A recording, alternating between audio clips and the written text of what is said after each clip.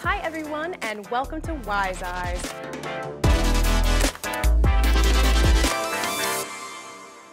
Today, we're going to be discussing follow-up appointments and ongoing care after receiving iLink. And just as a reminder, our superstar Ethan here recently received the procedure as well, and he kind of has me to thank for that.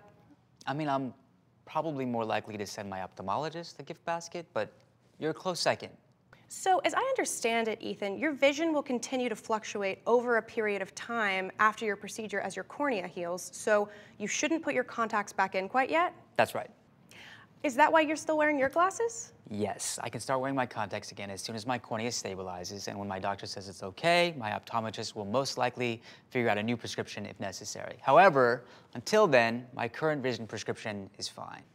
So after a few follow-up appointments, if your recovery is going smoothly, you'll meet with an optometrist and he or she will help you get a new prescription for glasses and contacts if necessary? Yep. Cool.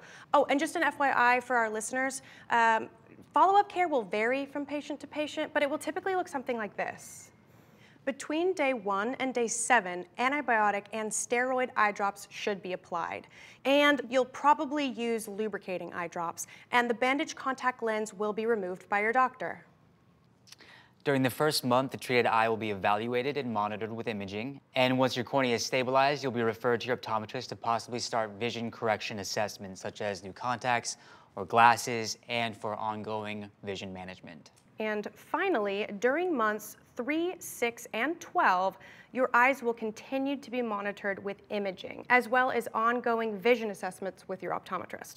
Your doctor will also be monitoring your second eye, as KC almost always affects both eyes, and therefore both eyes will likely require iLink.